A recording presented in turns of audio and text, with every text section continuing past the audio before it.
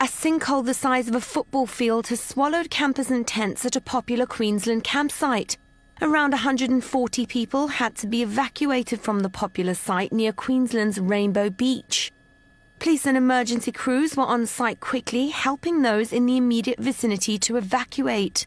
While some unfortunate campers lost their vehicles, others managed to escape to safety just in time. We heard a bit of commotion going on, and when we woke up, we looked out, and there was the police up here with the lights on, and people running around saying the sinkhole's taken everyone's van and what have you. It's hectic. there was just this hole. It was, we didn't even know there was a caravan in it.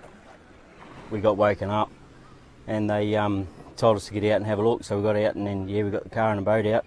Slept on the road last night and came back in, and yeah, the tent was still there, luckily. But next door lost their camper.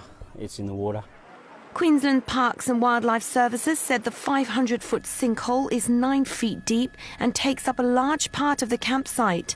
Officials are continuing to monitor the situation, and geotechnical engineers are to provide an assessment of the site.